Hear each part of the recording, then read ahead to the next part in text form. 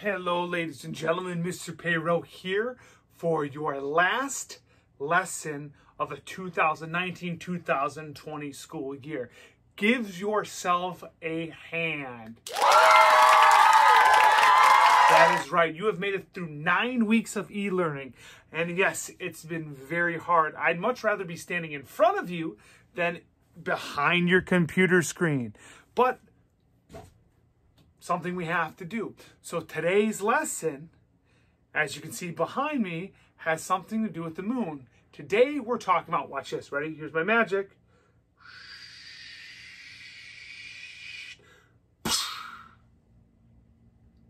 Read it? That's right, we're talking about the lunar cycle. Now, somebody may ask, well, what's the lunar cycle, Mr. Peyrot? Great question. Well, the lunar cycle is the change in appearance of the moon as it makes one full revolution around the earth. That is right, ladies and gentlemen. The moon does revolve around the earth. As we spin, it revolves and so forth. Um, so today, I'm going to go each phase and show you pictures to help you understand. So make sure that you're paying attention, thinking about what it is, and looking at the pictures behind me. So without further ado, I give you the lunar cycle.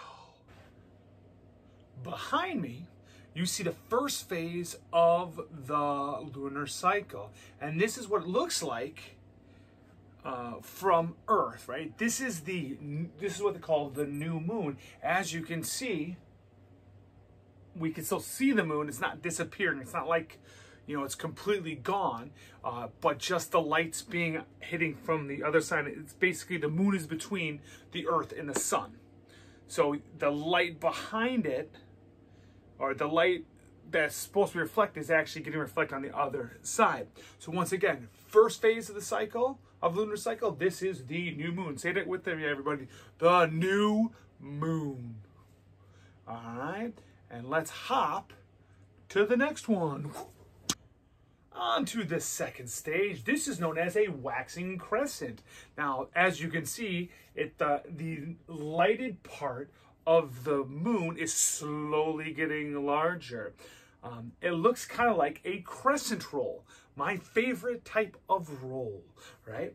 Uh, I got a little rhyme for you that I love to say to make me remember what a, a waxing crescent is. It is the light on the right is new and bright. The light on the right is new and bright. The light on the right is new and bright.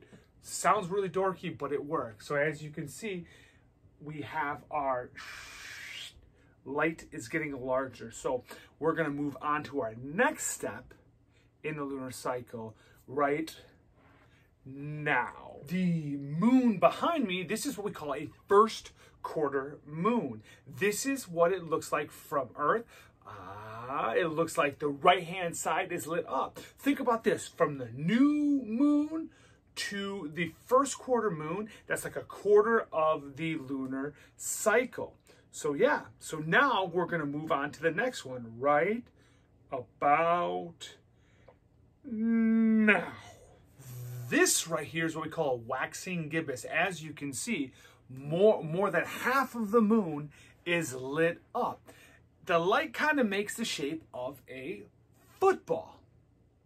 So it's that simple, right? So as you can see, we're slowly growing, slowly growing, slowly growing. I wonder what comes next. Just wait and see.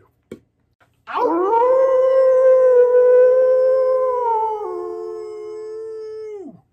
Right? Luckily, I'm not a werewolf because this, ladies and gentlemen, is a full moon.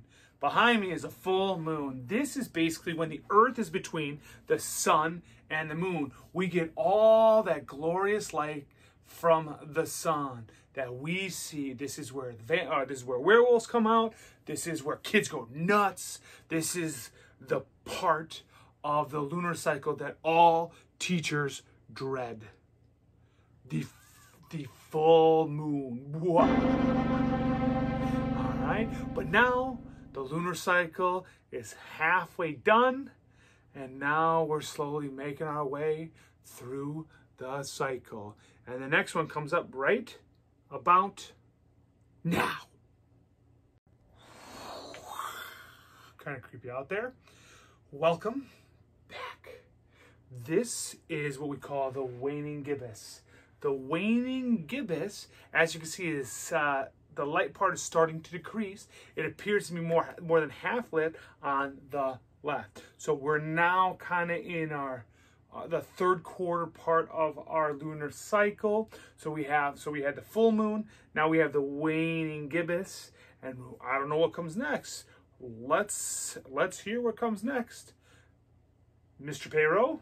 Thank you, Mr. Peyrot. Um, on on to our next part of the lunar cycle. Behind me, you can see uh, this is what we call the third quarter, or third quarter moon, or last quarter moon, um, because the moon in this section is three quarters of the way through its cycle. As you can see, it's a lot different than first quarter because now the left side of the moon is lit up, right? So now we, you know, we started at new moon, from new moon, we had first quarter moon, from first quarter moon, we had to full moon, from full moon, we have last quarter moon, and then we have kind of another one next. So take it, take it away, Mr. Peyrot. Thank you, Mr. Peyrot. You're very handsome, by the way. Anyways, right? So now we are on kind of our, our, our, our, our last part of the lunar cycle. This is what we call a waning crescent. As you can see, it's like the waxing crescent, but on the eh, opposite. It looks like a crescent roll again, but it's on the left-hand side instead of the right-hand side. So that, you know, and then what do you think comes next after this? Let's wait and see. And here we are. We have done a full cycle. I am now standing in front of a new moon.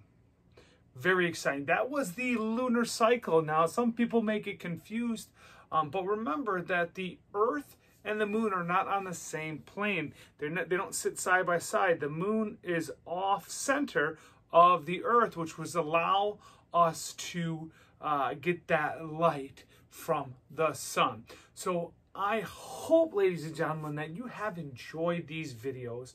Um, and I just want to say thank you so much for paying attention. Thank you so much for um, just being with us in these crazy times.